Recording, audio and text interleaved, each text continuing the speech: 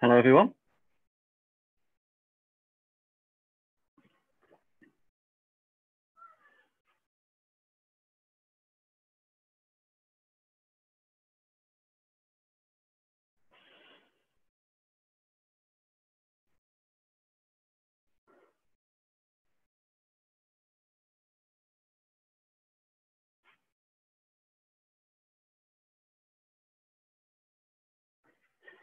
Uh, that's good. You can hear me talking. So hello, it's David Nankivell here. Um, I've just stopped sharing this.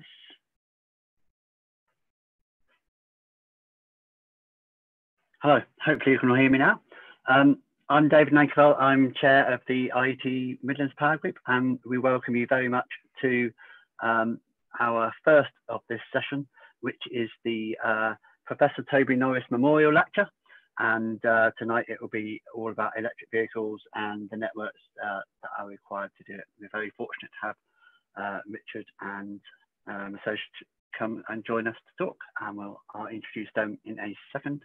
Um, firstly, uh, welcome to everyone. Um, thank you very much for for joining. Um, this is the first online session that we have done as the IET Midlands Power Group.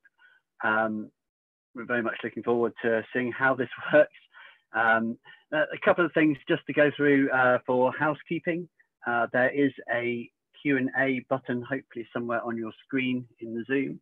Um, for the question and answer session at the end, uh, what we'll be doing is uh, using the uh, questions that are in that Q&A section. Uh, there's too many people on the call to be able to sort of take verbal and video questions as we go through. Um, so, so if you can please put your questions in the Q&A section, uh, not in the chat.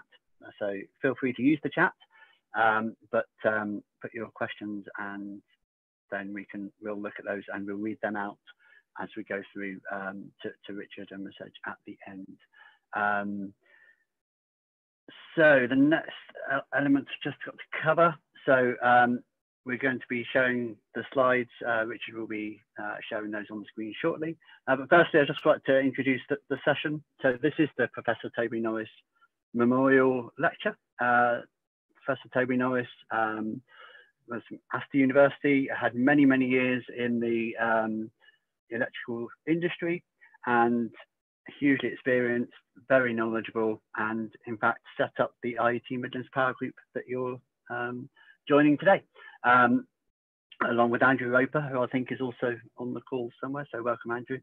Um, and and so, you know, sadly, a few years ago, um, Professor Toby Norris passed away. Um, and so, in his memory, we run this lecture as the first one of our session because uh, it feels right to do it as the first of our sessions uh, each each year. Um, so this is the the lecture for that. And so it's, it's very important for us that, that we, we get really interesting topics and topics that Toby would have been fascinated by. And I think today's um, session will be just that. So uh, very shortly, I will introduce you now to our speakers. Um, so we have uh, Richard Hartshorn, and he's the EV Readiness Manager in uh, SSE Networks. Um, and Maciej, who does the technical modeling, uh, working with Richard. Um, and I think probably they can introduce themselves to, to, all the bits they're doing and working on. Um, so without further ado, uh, I'd like to welcome Richard and Maciej. Over to you, Richard. Afternoon, everybody. Or evening, rather. Uh, the day's flown by.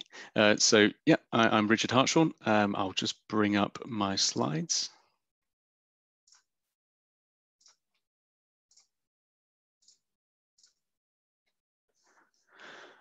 Okay, so uh, yeah, thank you for your time this evening. Um, so as David said, I am the Electric Vehicle Readiness Manager working for Scottish and Southern Electricity Networks. Uh, we're really delighted to be able to talk to you um, about how we're working towards uh, having the infrastructure in place to meet the net zero ambitions in the UK. So in terms of an agenda, well, I'll give a brief overview of who we are um, and the low carbon technology uptake that we're experiencing so far. Um, I'll touch on our electric vehicle strategy and a few other initiatives uh, that we've got in place that justifies what we're trying to do here. And then I'll cover the ask, which is what we actually wanted to achieve from this particular piece of work. Following that, we'll dive into a little bit of the detail around the projections for electric vehicles. Um, and then Maciej uh, will pick up the network impact analysis because all of this is great, but translating that into an impact on our networks is the key part of the puzzle. And at the end, we can wrap up with some good old fashioned Q&A. So just to give some context today, um, as I mentioned, uh, Scottish and Southern Electricity Networks, we own and operate two distribution networks uh, and one transmission network. We cover the north of Scotland um, and part of central southern England. Um, and our core purpose, as you can see there, is making sure that we can provide this safe, secure and reliable supply of electricity um, to a, a, decent chunk of customers. So it's, it's 3.8 million homes and businesses um, that, that we supply with electricity there. And our vision is to make sure that we can actually have the networks in place that can meet the government's um, ambitions, uh, but also those of our customers, uh, and to do so in the, the smartest, most cost effective and timeliest manner. Now, in terms of LCT, low carbon technology uptake, at this point in time, we have approximately 45,000 electric vehicles registered within our license area, or license areas north and south. And linked to that, there's approximately 40,000 EV chargers that have been installed. And not forgetting heat, uh, there's approximately 20,000 heat pumps that have been installed to date as well within our license areas. So that sets a bit of the scene for now. Back in March, we launched our electric vehicle strategy. So this was built up over the last couple of years using stakeholder engagement, workshops, uh, some innovation projects, and some future um, vision thinking to try and build up that picture of what's the state of play now and what are we working towards. And crucially, it interlinks uh, and builds upon two of its sister documents. We've got a digital strategy that's been published and a DSO strategy, because as a network operator, uh, we are moving to becoming a system operator, and that lays out some of our, our thinking about how we'll accomplish that. And it's very much focused on our stakeholders' experience. So just to touch on that, um, within it, there are a number of visions that we have for our customers our stakeholders. So whether you be a domestic customer, a commercial customer, maybe you're a local authority, or maybe you're a charge point operator or an infrastructure provider, we've laid out some of the visions that we think should be in place um, later in this decade and we're working on achieving a lot of the aspects that we lay out in these visions right now. Um, and hopefully we will accomplish most of those in the coming years. Um, but we do expect to complete those within the, the time frame of 2020 to 2028 which is uh, the price control periods that i'll touch on a bit later. So a lot of these are capabilities that have been requested by stakeholders now, the strategy itself is underpinned by five key principles. Um, I won't go through all of them here, but the first one is the key one, and that's what we'll be linking into today, which is the principle of using data and analytics to underpin a lot of this work, to anticipate where we'll get issues on our networks, to support that decision-making process, and to make sure that we have the right infrastructure in place ready for whatever the pace and scale of EV uptake might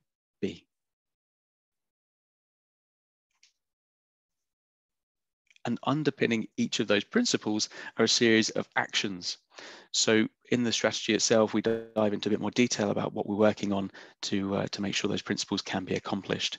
And within it, we have helpful links to show where there are links to the digital strategy and the DSO strategy. And in addition, there's also some useful boxes just to draw out where stakeholders have highlighted we really should be focusing on particular areas. And nothing like a shameless plug, we also have some case studies in there which highlights some of the other initiatives that we're undertaking. And it's just a small part of our, por our portfolio, um, but more detail can be found within um, the strategy. There's hyperlinks, or you can reach out to us directly. But we cover things such as our, our decarbonisation of our own company's fleet, uh, our rolling out of low voltage substation monitoring, our strategic partnership in Scotland and also uh, Local Energy Oxfordshire, which is uh, Project Leo, one of the biggest DSO projects uh, to be undertaken. And also worth taking the time to say that a lot of that work in the strategy, whilst it's been built up using stakeholder feedback, it's really important for us to make sure that it evolves to continue to meet our stakeholders' needs. Um, so it'd be great if uh, if anybody is a stakeholder of our license area, if they would like to uh, give us some feedback, it can be found at the website ssen.co.uk slash EV. And also it's anonymous, which I know helps a lot of people feel comfortable giving their feedback. Okay, so some of the other initiatives that have been driving forward our need um, to do this piece of work. We launched um, in July Accelerating a Green Recovery, um, which is a document laying out some of our proposals and recommendations for government to ensure that we can have the world's most extensive EV infrastructure by 2025. And there's a couple of key points that I've just drawn out on the slide here uh, amongst the recommendation uh, recommendations. One is around empowering communities. So having local area energy plans. We'll talk later about how we've disaggregated a national scenario down to our, our local network level, but local area energy plans allow it to be built up from the bottom up as well. And that provides a great source for communities to be empowered to make sure they have the right infrastructure in place for what they're looking to do. We also suggest bringing forward uh, the ban on the sale of ICE vehicles to 2030. And we also make recommendations about trying to unlock private investment for charging infrastructure. Uh, we note some of the examples from the Netherlands where um, there was a tender carried out for a large area um, with a, a, number of charge points that are expected to be installed within that. And it secured the economies of scale that meant there was tens of thousands of chargers being installed. And that's the, the model that we think should be emulated in the UK to try and achieve this, this widespread rollout. So we needed to feed into that work as well. Um, and finally, as a network operator in, in the UK, we're, we're abiding by the price control periods that the regulator Ofgem set. So coming up next in April 2023 is our next price control period called RIIO ED2. Um, and we have to put forward our business case to ask for the budget that we need for the necessary investment in that period. And this work will be feeding into that business case that we'd be putting forward. And it needs to be underpinned by a lot of evidence, um, cost benefit analysis, and stakeholder support. So we're using this to help feed into that to try and ensure we can hit those three core principles that you can see there that it gives value for money, that it embraces innovation, and that it's transparent as possible. So enough about setting the scene. Now to the ask. So this is what we went out with and said, okay, we know that's where we are. We have a vision for where we need to get to. So we really need far more granular projections of what LCT uptake might look like in the future. Um, that will allow us to make far more accurate investment plans. So really we need to know where, when, and, and how much we're going to see in terms of EVs and heat pumps and the like. And we also need those down to pretty much an individual street level. So we have about just under half a million low voltage cables in our networks and just over 100,000 secondary transformers. And above that, obviously, we've got our HV and EHV networks. So we want those projections down onto those assets. And we'd like those projections to be based on National Grid's future energy scenarios, plus a, net zero view as well. And not just stopping there, uh, we said to our analytics team, we also want to have effectively a red, amber, green status in terms of overload risk for every asset. And not just being content with good old fashioned Excel, we'd like to have some slick visuals so we can slice and dice and drill down into those outputs further. And importantly, we'd like it to be in the form of a tool that we could use to engage with local authorities, uh, local government, national government, to try and help inform and understand their plans. So that is the ask that we went out with. And hopefully now we can give you some insights into what we accomplished. Now, in terms of these high granularity uptake projections, uh, I'll take you through this section now. So to recap, we wanted to get projections for electric vehicle chargers, heat pumps, and oh, sorry, I failed to mention solar PV as well, um, not forgotten. Um, and we wanted those down to 400,000 or so low voltage feeders and about 100,000 distribution substations. And the crucial thing was we wanted the numbers and the capacities that we could expect to connect onto our network every year out to 2050. Now on the right, giving you a slight little teaser there to show one of the views from the report that we were given at the end of the, uh, um, the, the, the, projection uptake study. And this was showing um, uh, in the area um, how we could expect off-street home charging to take place in Swindon. So it's, it's mapped out the areas where there's likely to be a high density of off-street parking um, and off street, sorry, charging, and areas where there's going to be a low density there. So in terms of technologies that we assessed, for electric vehicles, there was seven types. We looked at, as you can see there, everything from buses and coaches to cars to light goods and heavy goods vehicles and even motorcycles, and a couple of uh, you know, hybrid options in there as well. And for heat pumps, we also had electric and hybrid options. And then for the electric vehicle charger type, we also had eight different charger types we considered because it's really important for us to be able to understand what the difference is um, on our network between home charging workplace charging, fleets or depots, uh, and then if you had en route chargers like a petrol station, and if that's a local petrol station equivalent, or if it's like a national equivalent, say you might find on the motorways. So there's a lot of different technologies which fed into these scenarios. And just hammering home, um, probably because we are quite proud of it, the uh, our, our, consultancy firm Regen, uh, a big call out to Regen for doing this piece of work for us. They brought the national um, national grids, national scenarios down, uh, disaggregated them down onto our, our, low voltage networks. And you can see an example in the map there. That's Reading. Um, that's the center of Reading. And they've broken up with those polygons about different areas that are supplied uh, by different sections of the networks. And, and that's how they've been able to apportion their projections to our network. So it gives you an idea about the level of detail that they've gone into and, and the complexity of some of the algorithms that they have been running. Now, just for some folks that might not be familiar with us, uh, we won't hold it against you. Not many people are, but we have some uh, some pretty different challenges considering we run a network in the north of Scotland and one in the central southern England. Uh, for a start, winter seems to be um, tackled slightly differently, um, but it just brings out in this slide some of the challenges we have in terms of fuel poverty as the top line there. I mean, approximately 10% in the south of our customers are in fuel poverty, but that jumps to a massive 40% of homes in our northern license area. And that again has a, a slight impact um, in, in terms of some of the projections that have been provided.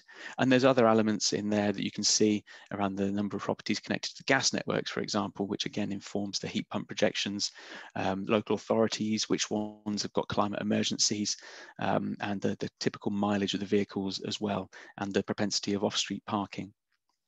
So a large number of factors that are taken into account anyway uh, before Regen delved into the detail further. So in this slide, um, on the right hand side, I'll start with that because everyone's eye gets drawn to it first. This was in our southern license area, the time lapse for off-street EV charging uptake that was being projected out to 2050. So it, it's not particularly easy to pick up from here, but um, there's a lot of areas outside of cities and town centres that we are projecting to see high levels of uptake over the years. Um, a lot of it is driven by those that appear to have um, off-street parking and a certain level of affluence. But affluence, again, is a tricky factor um, to weigh in on. So um, the guys over at Regen, they started out with their baseline assessment. Um, they took the national grid scenarios. They would then look down at the local areas, understand a lot of the nuances, look at the socio-demographic, socio-economic data, look at the housing stock data, a lot of a lot of data sets pulled together and, and I won't go into all of those, but then that allowed them to crunch the data to allow then this spatial distribution of different charger archetypes across the areas.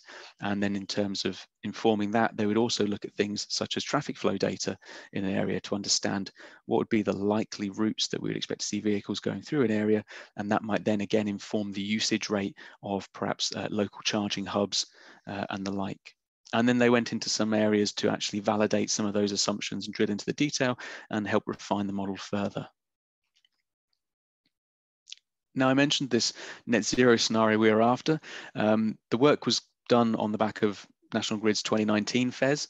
Uh, and so at that point in time, there was just a sensitivity activity around net zero, we asked Regen to come up with a dedicated net zero scenario. Um, and so they produced one for, for, us. And as you can see on that chart there, um, the, the, the upper lines represent what we would expect to see in terms of EV uptake in our southern license area, and the lower lines are reflecting the Scottish license area. Um, so for Scotland, um, the net zero changes didn't seem to make a, a, huge amount of impact, but you could see for the southern license area, it did bring things forward. You, you, can see from the dark green line there, it's accelerating that uptake as you might expect. But then there is a reduction in the total number of, of, um, of EVs. And again, that comes through from some of the considerations they had around the, the changes to vehicle usage habits and patterns, um, the, the perhaps pushing of cycling and walking as per um, recommendations from different organizations. And uh, there's reports from the likes of the Committee on Climate Change that have big pushes for uptakes of cycling and, walking in public transport as well. So those trends are affecting that net zero scenario, um, and it led to a reduction in the total vehicle mileage for vehicles um, and bringing forward that ban, um, and then also dropping the number of vehicles that are on the roads entirely. So some of the results that we saw off the back of the, the projections, um, on the bottom left, the table there is looking at the residential off-street charger numbers. So uh, we split it into first, whether it's the Scottish or Southern license area, uh, and then under the different scenarios, the, the thousands of chargers that we would expect to see associated with domestic off-street charging.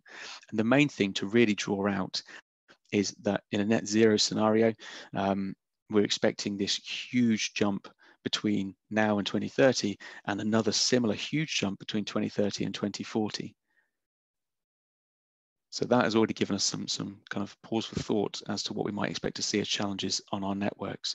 Significant numbers from the baselines of a couple of thousand uh, in Scotland and you know maybe just over a dozen and a half thousand um, charges in the south um, at domestic level, you know, jumping up to nearly nearly a million charges in the south by 2030 in a net zero scenario is pretty astonishing level of growth. And with that comes the challenges for our networks all the way from the high voltages as that load gets aggregated down to uh, an individual asset level. And Maciej will take you through that in a minute. And then looking at the, the impact in terms of capacity, uh, on the right, you start to look at all the non-domestic um, charges. And if we start to look at actually what that means in terms of the amount of energy that we're looking at, I mean, in every scenario, we're projecting a fairly decent level of on-street charges to be in place. Um, and you can see on those horizontal bars, uh, the dark bluey green, uh, teal, if you will, if I'm going to consult my Dulux color chart, I think it's teal. Uh, the teal section of the bars represents Scotland and the lighter green uh, represents uh, our southern license area. So you can see the slight difference in scale of the amount of energy that we're expecting, but still significant nonetheless, uh, and certainly some, some major implications for us on different voltages of our network to connect those. So to dip into a couple of areas to look at the results, uh, on the left, we've drawn out um, a high level, you can see Scotland in terms of off-street parking again, uh, and we've looked at this for every low voltage cable. Um, and uh, if it's light blue, there's there's probably a low level of off-street parking and off-street um, charging availability. Dark blue, obviously higher. Uh, and we've drilled into Aberdeen, um, and it, it, all makes sense for us. At the centre of Aberdeen, uh, notorious for some of its lack of parking, um, and you can see that from the light blue shading um, that's reflected there. And as you step out into the more rural areas, obviously the level of off-street parking goes up considerably considerably. So uh, yeah, all seems to make sense, all good on that front. And then on the right, looking down in the Solent at Southampton, um, looking at the spread of non-domestic EV charger uh, types. Um, each dot it says, oh, it says there an asterisk, but each dot represents a, a distribution substation um, and the color coding reflects as to what's primarily behind um, the charger types um, connected to it. So there's an awful lot of orange and, and um, light yellow um, dots, and they represent the fact that an awful lot of substations in Southampton we are expecting to be dominated by on-street charging. Again, should come as no surprise when you look at the housing types uh, and the propensity of um, on-street parking, uh, but again, it's useful to draw it out, and the level of detail that they've gone into gives us real confidence. For example, we've been able to see that in some areas there is a neighbourhood that's only, I don't know, 200, maybe 400 metres apart from an, another neighbourhood, look very similar in terms of housing stock, the types of um, you know, uh, residents that live there, the level of affluence, or as much as we would expect, uh, similar levels of off-street parking, but slightly different uptake rates, which do end up having a, a pretty significant effect on the local network because they are served by different sections of the network. So previously we would have assumed that all would be fine. It would be a fairly uniform uptake rate across those areas. But thanks to this level of um, rigor and detail and granularity for the projections, we now have the understanding that actually we can go down to a further level of understanding and think that you know, one neighborhood will probably see a faster uptake than another. And that again helps achieve that first principle, that first outcome of using data analytics to effectively anticipate the issues. So that is enough from me at this point. I will stop sharing and hand over to Maciej.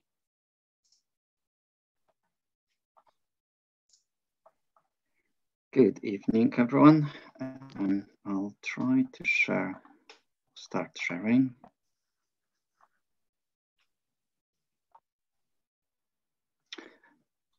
Thank you, Richard, uh, for the introduction and uh, piece of the Regen work they have done. So Richard showed uh, you an example where the EVs, chargers of EVs will, will appear and, uh, and the uptake of them. But the more important for, for DNO, uh, for distribution network operator, is what actually uh, the, the, the, the, uptake of EV chargers will have on, on our assets. So our um, LV feeders, distribution substations, HV feeders, and this is what we were trying to do with the data analytics team and, and all the data available uh, to us. Um, so just on the right hand side, uh, we've got a list of uh, systems uh, we've used to put the data together. There's a lot of acronyms and, and it doesn't really matter what they are. It, it's just a, a data sets we try to put together. And you can you can imagine those as the as each sort of uh, square represents a, a, a, puzzle and with let's say thousand pieces so what we've done we put all the pieces together just for fun we we removed few of them so it won't be too easy and we try to rebuild the whole system linking those those pieces together and and, and that was a, a definitely a challenge um, as you know we've got the lower on the lv network you go the more data you've got. So we've got more distribution transformers than the primary transformers. And again, we've got, as Richard mentioned, almost 4 million customers connected to the network. So trying to put all those data together uh, uh, uh took a lot of a lot of effort. And also, as you might imagine, uh, that the data sets do not match exactly. So we spend a lot of time cleansing the data uh, and trying to make sure that they all aligns uh, together quite nicely. So that was a big challenge. I think we, we've done quite well with that. Uh, and the next step really was to, to, to look at the loading uh, and, and, and our assets.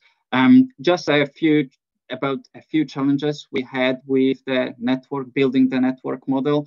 Um, as you can imagine, uh, each cable is represented by, by number of sort of uh, data, uh, and it's got its own specification. Uh, so it could be copper or aluminium, so the type it made uh, as, as well, you know, the size, uh, and also a, a, a construction uh, or, or, the type of the cable. And you've got few examples on the HV cable where we sort of showing what data is available and what data is not available. So we, we can have in one section, we can sort of see that on the right hand side, we've got aluminium 240 uh, uh, XLPE cable but going down, it changes to 0.3, then it changes to copper, but also we don't have the information of the construction.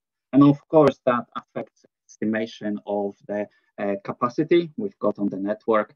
And again, we need to deal with that, that problems in our estimation, how the EV uptake uh, will affect those assets. I'll show you some, some impact of that on, on the few more slides. So we've got a number of uh, EVs uh, in particular uh, area. We, we can have a look how many that will uh, be on particular LV feeder or distribution substation. But as you can imagine, usually the domestic EV charger, uh, there are seven uh, kilowatts in rating, but they will not always be charging at the same time. So instead of looking at the numbers of EV chargers connected, we need to look actually at the, how much capacity we will need on the individual uh, feeders uh, or distribution stations. Uh, and uh, we need to look what is actually the diversity uh, or what diversity we can apply uh, for, for, for each asset. And as you can see, we've done some analysis and we try to estimate the demand. So up to sort of four EVs, uh, we assuming there will be no diversity. So we've looked at the 95% certainty that, you know, how many EVs could charge at the same time. So from our estimation, it looks like, you know, four customers on individual feeder can charge at the same time but it will drop very, very quickly the more EVs we've got. Uh, and sort of looking at 100 uh, uh, EV chargers And one point, we can reduce the, the, the capacity required required for a single charger to almost to or below two kilowatt hours. However, we've got our own standards, planning standards. We we uh, need to assess uh, and, and make sure that the feeder will, will be supplying the, the, the load it, it, needs to supply. So we had to adjust, you know, our estimation and our planning standards to, to implement that into, into our model.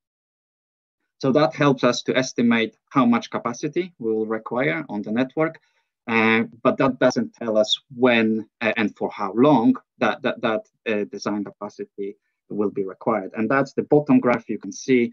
Uh, we try to do on the half hourly basis. So we've looked at the profiles, we look at a lot of previous projects uh, which used and collected the data of EV charging, and we try to exactly estimate what is the capacity required for, for each individual, individual uh, EV charger or collection of them at each time uh, during the day. So you can see we're estimating that around sort of uh, just after midnight uh, for uh, 1 uh, a.m. in the night, that's where the, the, the highest capacity uh, will be required. And it, of course, it drops in, in, the middle of the day and picks up again, you know, in the afternoon. So not, nothing surprising. Again, that will depend whether we've got smart charging, time of use tariffs. So that we will need to reassess probably every year to see how people people respond uh, to, to to different signal, different market signals, and how much capacity for each half an hour is required. Of course, that you know our substation monitoring, which uh, uh, Richard mentioned, will definitely help us uh, with estimating uh, that capacity requirements. Uh, as I mentioned before, we put a lot of different uh, data uh, types uh, into our model. One of them is our Pi historian. So Pi historian gives the load or measurements of the load on the 11 kV feeders. And that is really the last point where we've got a real-time measurements. Below that, we've got distribution substation uh, and LV feeders. And un unless we've got a substation monitoring, which we're starting to rolling out, but it's still quite small compared to number of assets. So, so HV feeders is our last point of measurements, and you can see at the bottom, sort of real-time uh, graph. Uh, it's a daily sort of profile. You can see the sort of similar, you know, for the domestic customers, it, it's quite straightforward. And on the top uh, uh, right-hand side, you can see sort of a heat map of, of that profile. Uh, what time is the highest load, which is sort of a very light yellow. And when we where we've got some capacity on the network, uh, which is sort of darker color. And then again, it tells us uh, estimating on the, on the existing load where we've got a, a capacity and when we can provide that capacity to, to, to EV chargers or, or heat pumps uh, and PVs as well. So that, that allows us to, to see the, the, the base load on the HV, a little bit help as well with the distribution substation and LV feeders. But that's not enough really to assess the, the, the loading uh, down the, the HV feeder. So we've used some additional data uh, we've used the uh, annual consumption data for our customers to estimate what the, the, the uh, profile and the peak demand could be. We've used the standard profiles for different uh, uh, properties, different customer types, and try to again estimate the, the, the, the, load, the existing load on the LV feeders and the distribution substation using different. So in, in that piece of work, we, we've done uh, two approaches, which one is from the top to bottom.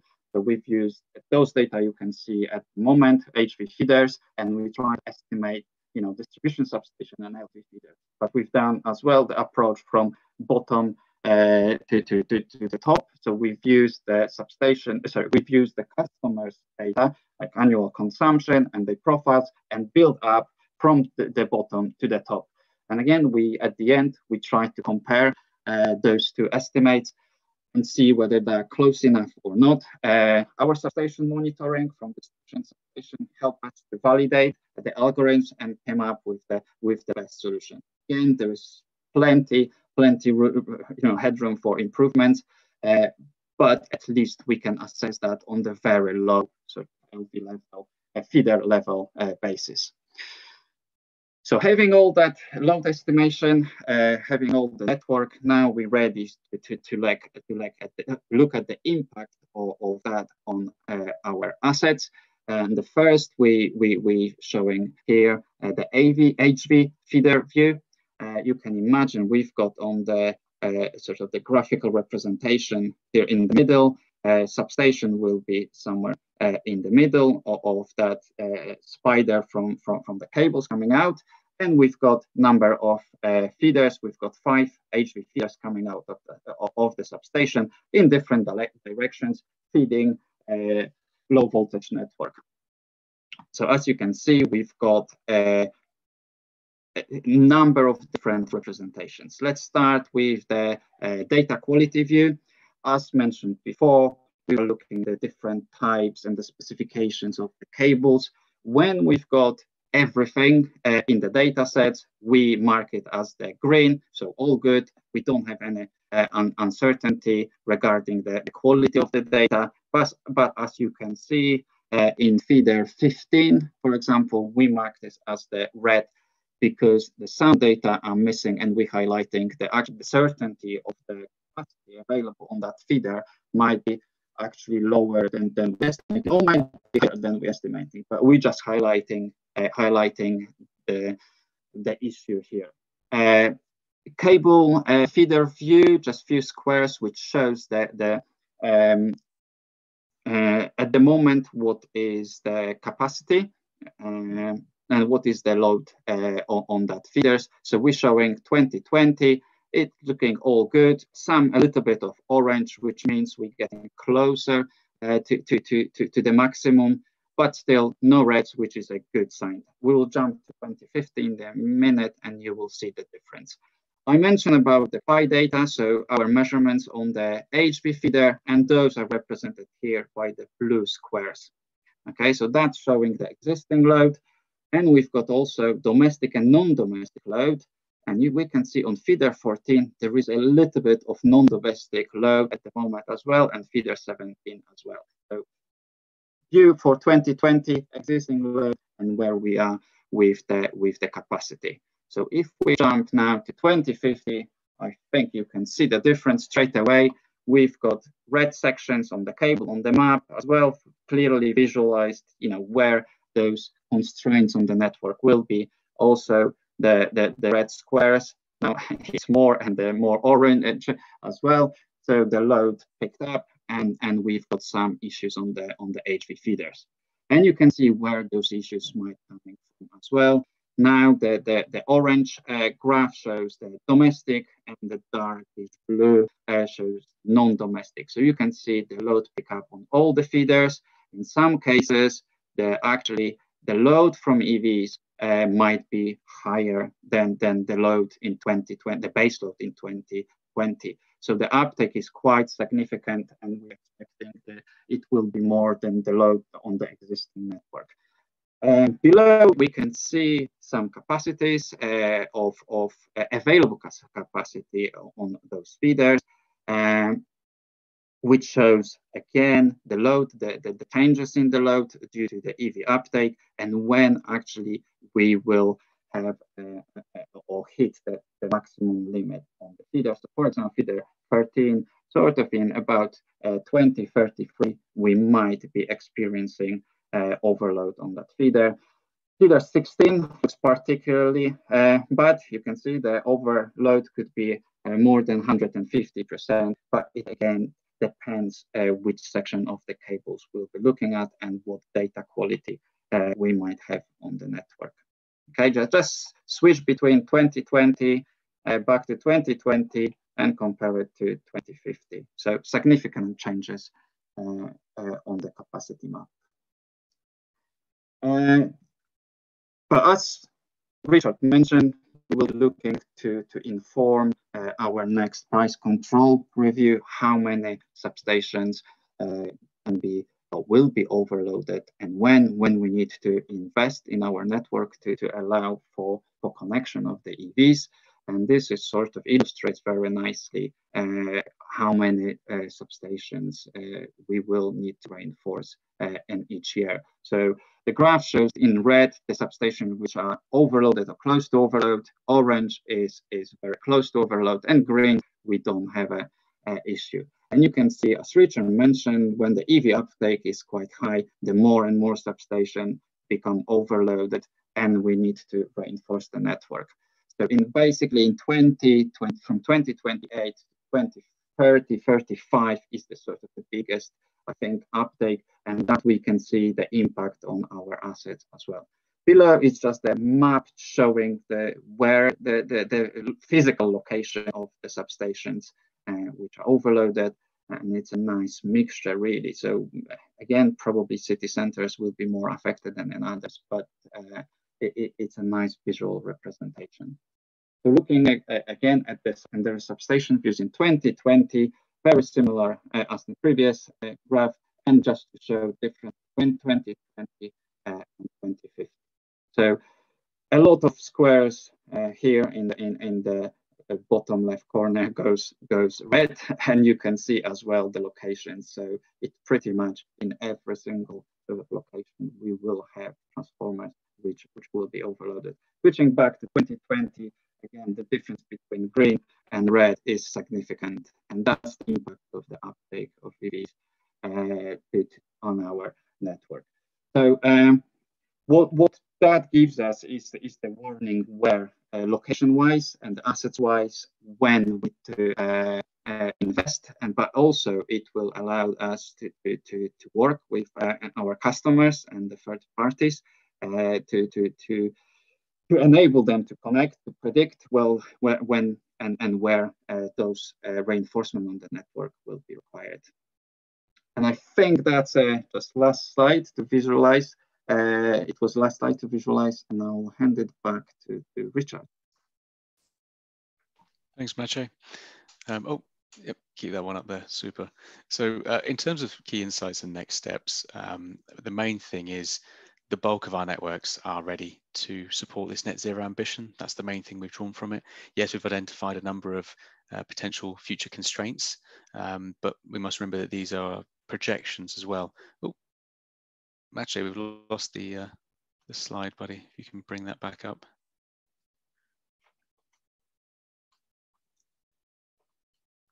If not, I'll, uh, I'll, I'll pop it up myself.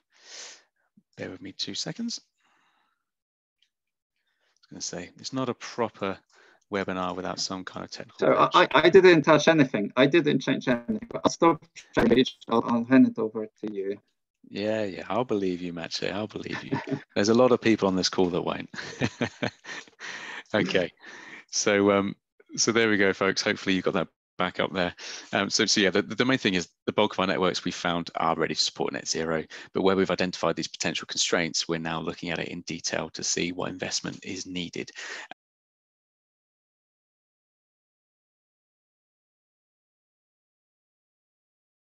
We do have a number of different scenarios and, and gives us some boundaries of confidence with our investment plans.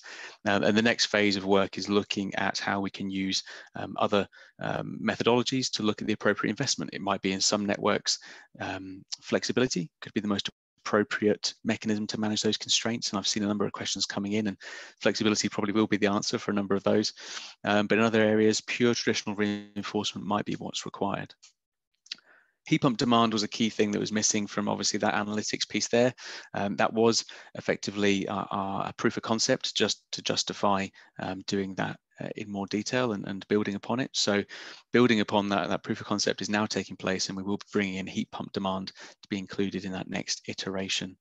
Um, and, and finally, we we're aiming to refine the modeling and the, the projections that are being used um, to help support a lot of this local area energy planning that we mentioned uh, to give the bottom up uh, approach and also the engagement with local authorities as well.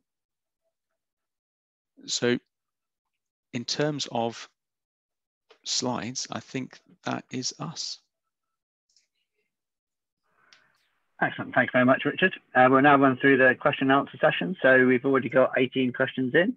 Um, so um, I will ask some of these, uh, probably maybe start with some of the um, more technical ones. So uh, we had a question qu quite early on in the presentation. So I'll run through sort of semi in order.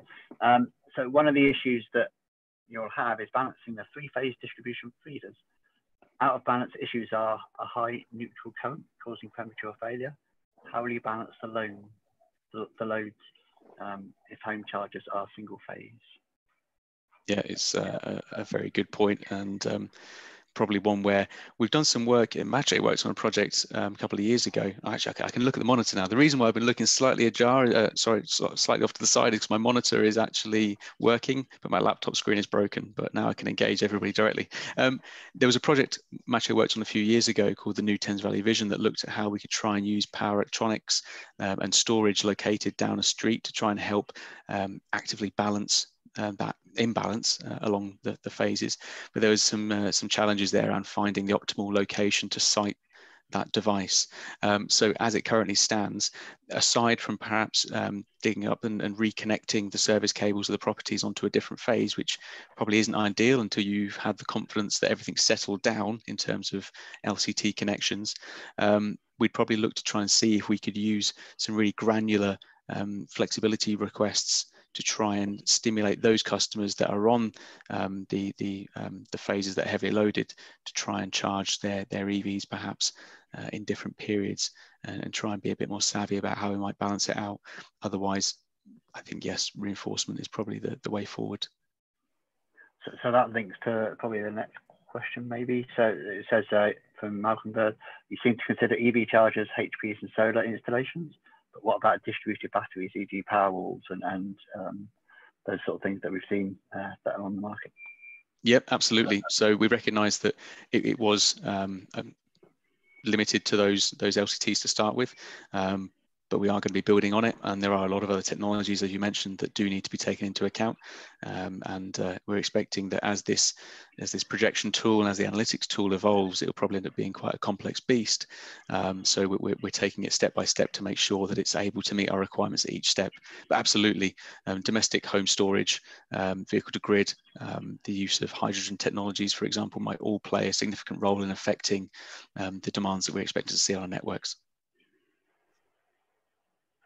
Okay, um, that may actually answer the one from Stephen, which was talking about scenarios where three phase is provided to homes. Um, so as that being considered, um, he, talks about the Parc Eirin project showing it's possible, possibly in the UK.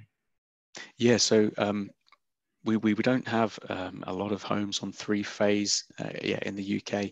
Um, it's definitely something we, we haven't taken into account three phase as a, a development within our projection modeling here. Um, but I know that there is a lot of thought around all new builds in the UK maybe being three phase to allow that accommodation for um, as much low carbon technology demand as possible. Um, and it's certainly something that's an interesting thought when you're building a new development, uh, building a new network, um, I think it's it's a marginal cost difference in terms of you know putting in the additional cable and, and, slightly greater assets. The biggest implication comes from retrospectively trying to upgrade networks to three phase, and that's where I think really the onus, as I mentioned at the start, we have a principle around trying to be cost effective. Uh, the onus is on us to try and see if we could use flexibility services to try and maximize our use of those assets, try and really sweat them effectively before having to try and move to that next step of the, uh, the disruption and passing the cost on to customers for um, digging up um, the, the, cables and, and, replacing them with a three phase. Okay, so um, so with the models, do the do the models include new 350 kilowatt rapid chargers rather than the seven kilowatt home chargers? That was from S White. So on the um, en route national um, charging um, types. Um, there are a range of uh, chargers, I believe, that are considered there. Um, I don't know if we had many of the 350 kilowatt chargers accounted for at that point in time. Um, but yes, it's something that we're looking to include as we do the, the future iterations is always keeping an eye on what's the latest developments and where we see the direction of travel going. Okay, and Stacey Quake um, asked what proportion of EV chargers are assumed to be smart? As a function of future years? Uh, and is it ever expected that the DNO might control EV charge output? So in terms of the study, uh, we had, as Maciej showed, the, the profiles that were being devised, and that took into account a lot of the learning um, from projects like uh, other DNOs. So Western Power Distribution had their Electric Nation project, uh, which had nearly 700 EVs, um, and we used the, the um, the profiles from those EVs to create our, our load profile. We took into account National Grid did a project as well, looking at charging behaviors. So we used all of that information and, and, and factored in a, a level of smart charging uh, across all of them. Um, so I think uh, I can't remember the exact percentage. We can get back to you on that one, but there was smart charging accounted for uh, in the bulk of the EV um, uptake scenarios. And certainly for our demand profiling, smart does feature heavily. And I guess the last point of that was um, around DNOs trying to influence it. So we have um, the commitment to try and use flexibility first. And so a lot of the DNOs are looking at ways in which we can try and stimulate customer change um, and signal to customers to try and um, yeah, change their, their charging consumption in different ways. Um, so whether that be through a, a, a, direct communication or whether it's through a supplier, whether it's through uh, an aggregator, demand side service provider, there's some interesting stuff coming out from um, British Standards Institute. They have a publicly accessible specification. They've got two actually, um, 1878 and 1879. Uh, they're looking at the, uh, the, the setup for interactions in the energy industry around smart charging and EVs and the potential architecture that might be in there. And grid stability is a key factor within that.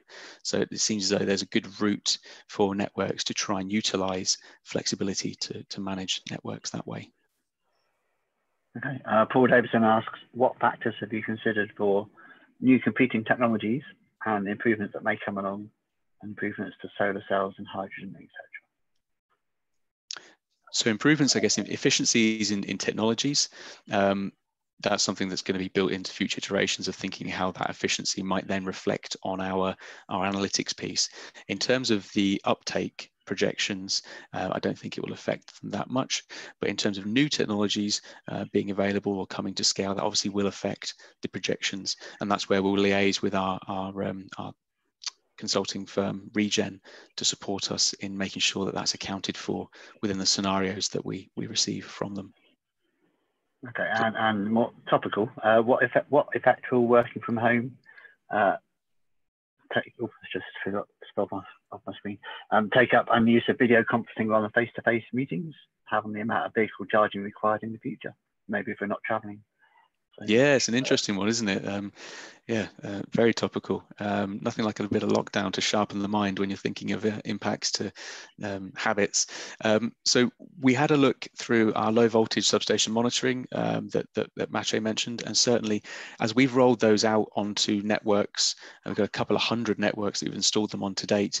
Those networks have been chosen because of the levels of electric vehicle um, chargers that have been connected to them. And we've seen um, a, a, reduction in, in, the amount of energy from those particular networks.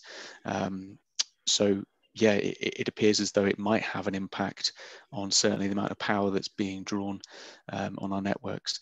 But conversely, when we look at it um, at a higher level, um, I know that our team that, that look at the, the level of uh, use of the system, the distribution use of system side of things, they've seen that if anything, there's been a slight increase. Um, so there's a strange offsetting going between the commercial properties and the, the residential properties um, and potentially the, the EV charging in between. But it's something that we'll be keeping an eye on National Grid's COVID analysis or COVID sensitivity um, to see how we should update and reflect that in our models moving forward. So at this point in time, Regen are working on their next stage of projections for us, um, and we should have those ready to uh, publish uh, early next year, and we'll hopefully have the uh, COVID sensitivity taken into account for that. Okay. Andrew's just popped up a, note saying that uh, domestic um, usage has gone up 3.5%. There we go. Interesting. Yeah. Um, Thanks, Andrew. while we're looking at the EV situation, what is the overall impact on the, of the move uh, from domestic gas boilers to full electric on the supply situation? Um, so that's another loading coming onto the system. So, Sorry, David, could you repeat that one? So, so uh, we were looking at the EV situation here, mm -hmm. um, but obviously another element is uh, domestic heat um, and, and, domestic yep. gas boilers moving to electric. Um, how yeah. that affects it's, it's interesting. There are there are um, different nuances again, and you look at the areas where they are already off gas um, and, uh, and, and how that um, is, is, likely to, uh, to, to lead to the uptake of, of, heat pumps, and then those networks accordingly already being sized for um, you know electric heating to some uh, form or another. Um, whereas those networks that are typically on a gas network at the minute, the diversity that our planners would have built into calculating electrical demand expected to be seen across those networks um, all those many years ago didn't probably factor in the likes of electric vehicles and, and heat pumps and the like. Um, so yes, that aspect of residential heat pump uptake is likely to be uh, uh, causing a, a, few challenges for us. And that's why we're really keen to see this next iteration look at what that impact will be. Um, so we'll hopefully have a nice view of uh, the different scenarios based on you know, high, medium, and low for simplicity's sake of EV uptake, high, medium, low for heat pump uptake, and then what that looks like when you merge them together to have a hopefully that that future scenario of decarbonising both heat and transport. But there's no doubt that it probably will cause us some some challenges for sure. Okay, cool. So we've got a few questions here, which um, the question I'll ask you probably sums up quite nicely and, and you should answer um, and cover the, the other one. So will the government provide financial support to help with upgrades to the network? Will this all be done by SSEN investment? And could a DNO refuse a connection if the network isn't up to the demand? All righty. So uh, yeah, so the first one in terms of um, the government have been for a number of years and I believe will continue to be supporting the investment in networks. Um, a lot of the investment they give and the grants are, are for the end users um, so that there's money for customers to get vehicles and charge points. There's grants for local authorities to install on-street chargers for example. Um, there's other grants that are being made available. They have their go ultra low cities fund. So there's a lot of different revenue streams um, and they've got their 500 million pound infrastructure fund as well. Um, there's also the um, yeah the, the, the rapid charging fund. So Project Rapid, looking at how uh, rapid charging can be rolled out across uh, across England. And you know, you, when you look at that, you think that is providing a financial stimulus there to try and get stuff done. And in addition, um, we and other network operators across the UK are going to be making the necessary investments that we feel are appropriate. So a, there is a, a, double whammy there um, to achieving this. And then sorry, David, I've, I've rambled enough to forget the second question. What was that one? So the, the second was, uh, could a DNO, a network operator, uh, refuse a connection if the network isn't up to? I don't think it comes down to refusing a connection. I think it's a point of saying that there is an investment that's needed, and then um, there's a whole raft of um, dialogue that takes place between the connections team within a, a, a, DNO and the, the customer that's seeking to make that connection, just to explain what the implications are um, and, and then lay out the costs that are needed for the scheme or the reinforcement that's necessary. Um, and again, there's some different rules that go into understanding the apportionment of what a DNO would cover and what the customer would cover. Um, and I won't go into it any more than that because you'll see through my thin veneer of knowledge around the uh, finer points of connections quite quickly. Okay, uh, the modelling considers load demand, but what about the impact on fault levels or power quality? Are the mm. impacts considered or going to be? Yep. So um, Maciej and I were, were talking to our analytics team who did that last piece of work that Maciej touched on. Um, and uh, we had a, a, big long wish list. Um, it was like one of those medieval scrolls when we were unfurling all of our wishes for it. Um, and yes, fault level um, data, um, condition based data, you know, health indices, all of that good stuff we were trying to bring in. but we were told, you know, baby steps. It's a proof of concept, and we need to factor it in. So it is on the wish list. Uh, we will be pushing for it, um, um, but it's just going to be taking a bit of time to build in. But certainly, we need that picture of all those different aspects in order to effectively have a, a, a an up-to-date view really of the networks and i think there was a, a, question that came in earlier around you know what is a you know distribution system operator mean and and really this is all moving us towards that point of being able to bring together and allow customers to be consumers, prosumers, to put power back into the grid, to use it when they want, to maybe do peer-to-peer trading. Um, you know, becomes our role to facilitate all of that. And I think to do that, that's why we have to have a network model like this that can in almost near real time factor in those requests and give perhaps, you know, go or no go decisions um, or perhaps influence different locational signals. Um, so definitely we need to have power quality aspects in there. Voltage needs to be in there. We need to have fault conditions. Yeah, the whole, the whole piece. Okay, and just uh, step through and, and find one final question, uh, which just someone's put something else and it's just disappeared off my screen.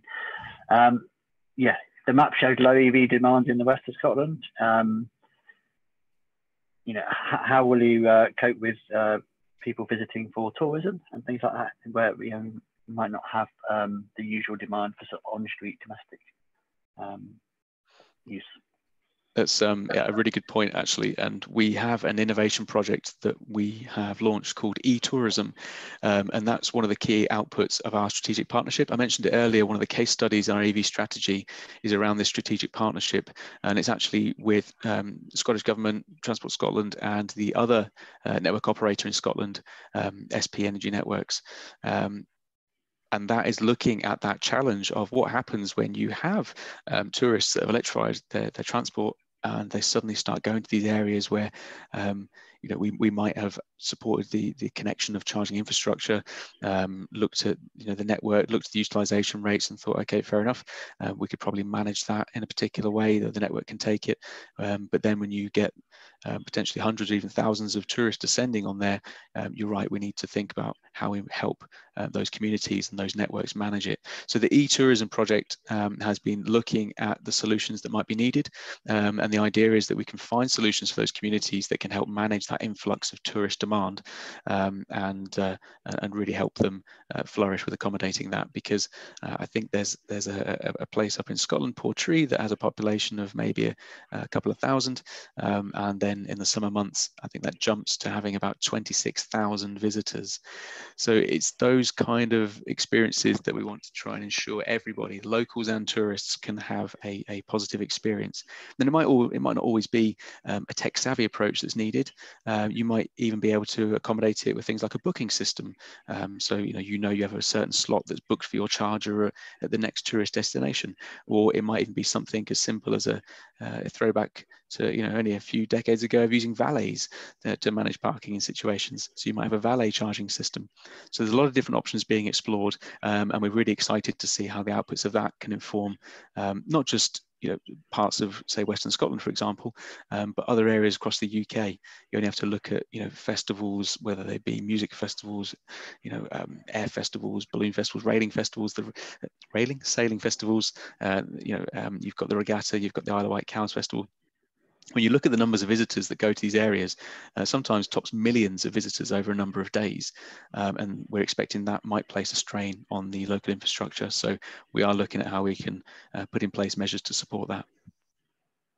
Okay, and probably the last question in view of time, um, and there's several questions related to this. So it's about, um, are you going, you know, do you see cars being used for storing energy? So this is the vehicle to grid um, question. So, so what's your views on on what that looks like going forward.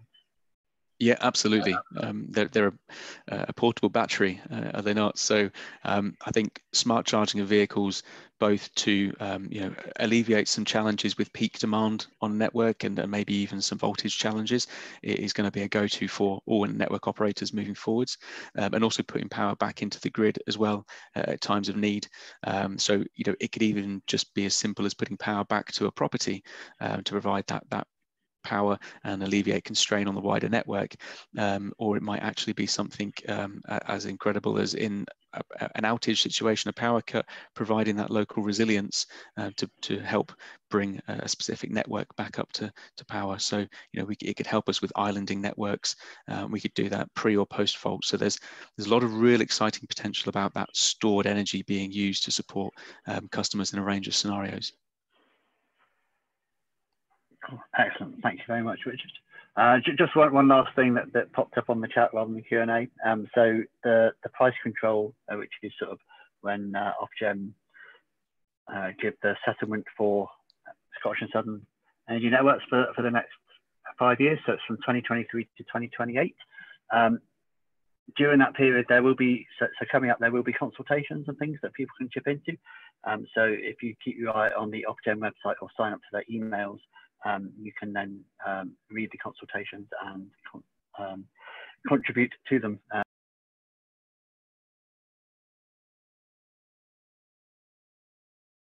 so, so thank you very much uh, for everyone coming along. Um, there were lots of questions, so we will look at those after the event. Um, just so you know, uh, the event has been uh, recorded, so that we will be able to have that on the IET website for people to go and view, um, and that will be coming up uh, shortly. So watch out for your your emails or notifications about that. Uh, we've also got uh, several other um, sessions coming up shortly, which we'll uh, advertise when we've confirmed all the details for those. Um, so, so that leaves me, I think that's all the bits here, um, to, to say thank you very, very much for, for Richard and uh, Jay for, for giving that presentation. Uh, really, really interesting to see the developments going on in the EV world, and, and but also what impact that has on the networks. Um, and the, the, data analytics section uh, was, fascinating to look at. So thank you very much for that.